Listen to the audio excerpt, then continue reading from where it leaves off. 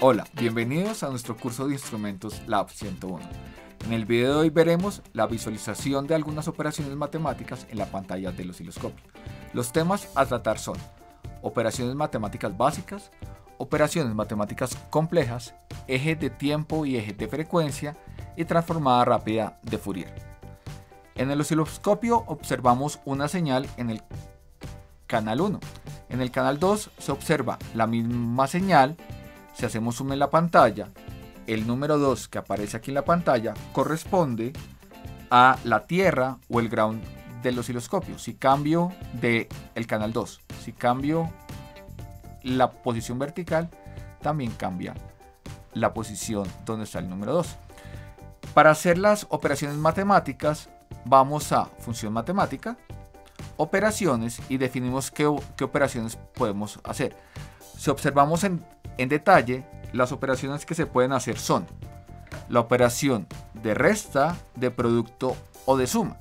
Las operaciones básicas son las operaciones de suma o de resta. Aquí sale una señal en rojo, si se alcanza a ver en la pantalla, ya que la señal amarilla o verde, según como la observen, y la señal azul son exactamente iguales, la resta de una menos en la otra debe dar cero, que es la señal que se, que se observa en la pantalla, la que está en rojo.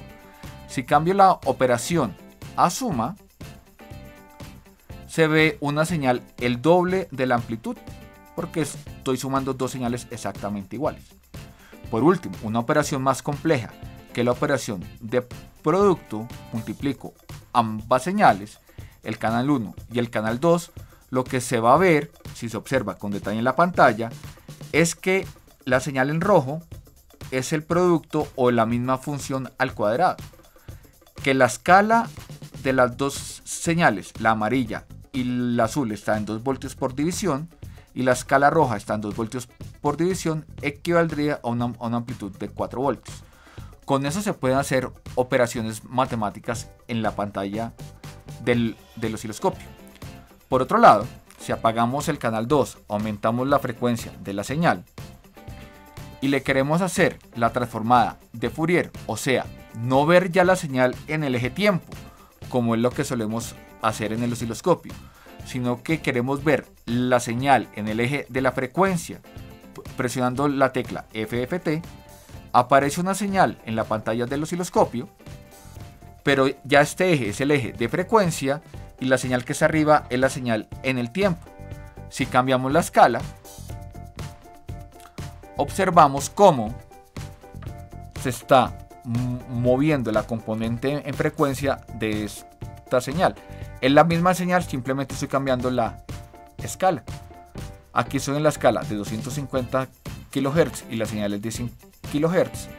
Si cambio aquí la escala o cambio aquí la escala, vemos el, el impulso. Una señal tiene una componente en tiempo o se puede ver en tiempo y como solo tiene una única frecuencia se ve un único impulso en frecuencia. Si cambio la señal a una onda triángulo, como se puede ver aquí en la pantalla con más, con más claridad, aparecen más impulsos en frecuencia, porque una onda triángulo es la composición de una suma de senos armónicas o múltiplos enteros de la frecuencia.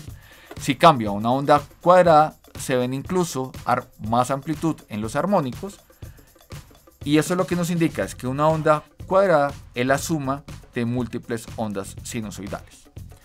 En resumen, los temas que hemos visto el día de hoy son la configuración de operaciones matemáticas con el osciloscopio digital, la transformada rápida de, Fourier o FFT, eje de tiempo y eje de frecuencia. Y hasta aquí nuestro video de visualización de algunas operaciones matemáticas en la pantalla del osciloscopio. Y hasta aquí va nuestra serie de videos de introducción al funcionamiento y manejo del osciloscopio. Muchas gracias por su atención.